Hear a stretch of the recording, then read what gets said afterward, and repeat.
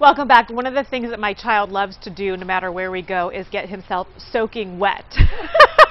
Must be a kid thing. And the hot weather that we have this week and all through the summer, just it just makes the environment so much better when your kid comes home just always drenched. hey, we have Deborah Stumm from SuperMoms360.com coming in here with some organized play for children because it just usually ends up being a free-for-all at my Let's house. hope it's organized, right? we'll, we will see over here. We'll see if we stay dry. That's my hope is Yes. that, you, you and I stay, Stay dry, dry. through this whole thing. but yeah, it's been so hot outside, and you know sometimes we don't have a pool in the backyard. I don't have a pool in my home. So what are some fun things that the kids can do that don't really cost much of anything at all, and you can get them out in the backyard? Yeah, okay, so let's see what the kids are doing Yeah. We So have Morgan, Dylan, and Addison.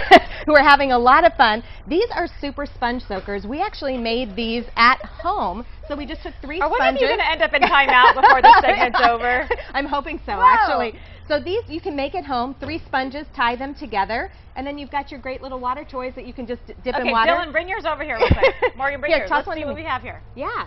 So, we you just, what'd you do? cut them into strips and then Okay. tie them just with some simple um, curling ribbon, and you've got yourself a little super sponge soaker. Okay, and they're playing so nicely with them all because, listen, I grew up with an older brother. Um, Yeah.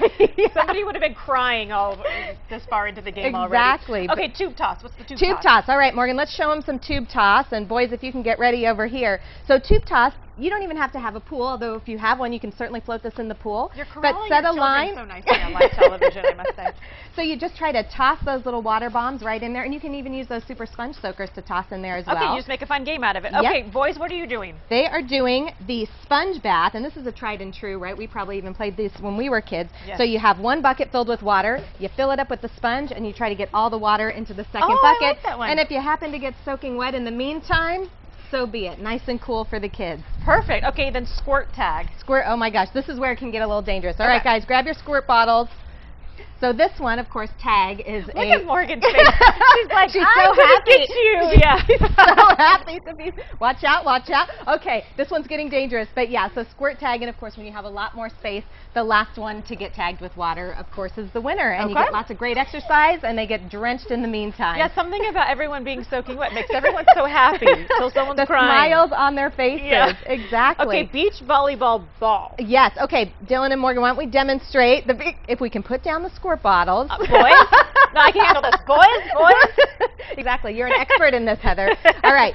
So we we've got so just grab yourself a beach ball. Once again, you can do this in the pool or just in the backyard. You can turn the sprinklers on, whatever works for you, and then um, just toss that ball back and forth and see how many times you can rally back. Oh yeah! Nice, Look at nice. that, Nice, volleyball Mom. player. Have fun in- Okay, then Addison's over there with, with bubbles. So this is a great craft. You can actually make your own little bubble wands, bright and colorful out of pipe Addison, bring cleaners. that over here. Let's check that out. You want to bring it over here, Ben? Let's see what sure. you got. Addison's on his way oh, over. he's got with the bubbles and the whole thing. Look at that. Very good. Nice. Whoa. Yeah, so we just put some um, bubbles in there. We made some little bubble wands, so it keeps them busy getting those wands made try this. without getting it on your outfit. Okay, oh, We oh, knew this was gonna happen. Listen, children, listen.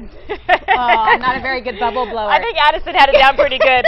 and then we make those out of pipe cleaners, so that's so easy. Make those out of pipe home. cleaners. But I think, you know, just definitely showing you don't have to have anything extravagant in your backyard. All of these things we just either had around the house and keep them nice and cool during the summer. Perfect. Hey, you kids were relatively well behaved. I give you a B plus. A B I plus. I give you a B plus. Better than I was expecting, Heather, so I'll take the B plus. No, they did a great job. Thanks again so much You're for coming in. We certainly do appreciate it. Uh, right after the break, we're going to check in with the Animal House and see who Darlene's brought in today. We're coming right back. And you didn't even get me wet. Oh, I'm so relieved. Thank you. So relieved.